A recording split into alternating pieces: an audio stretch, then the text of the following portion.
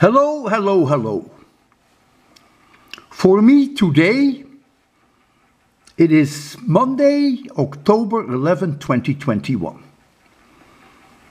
Maybe not for you. This is physics problem number 121. An interferometric radio telescope is comprised of 10 telescopes separated from one another by 800 meters. The telescopes are aligned in the direction east-west.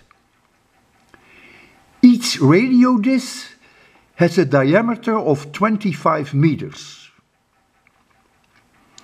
The interferometer is operating at a wavelength of 6 centimeters.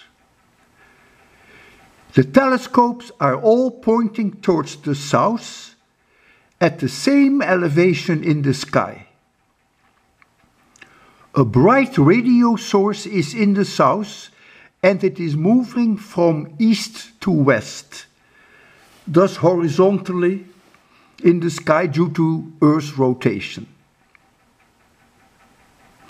During the observations, none of the telescopes move.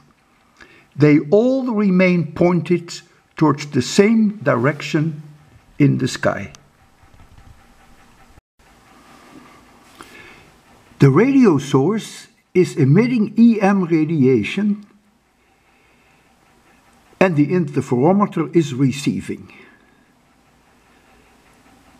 The radio interferometer detects the source loud and clear as the source is at the peak of the zero order maximum. Now comes the first question.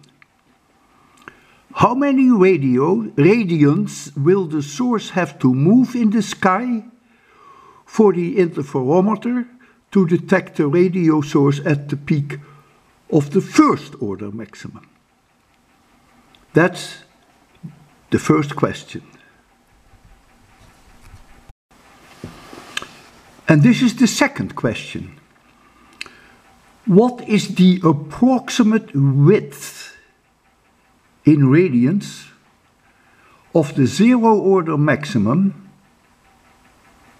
and what is the width of the second order maximum? Clearly, the narrower the width, the higher is the angular resolution of the array. So this entire problem deals with the concept of enormously small angular resolutions of interferometers.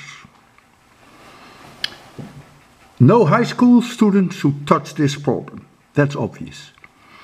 I cover this at MIT for sophomores, people who take physics courses in their second year.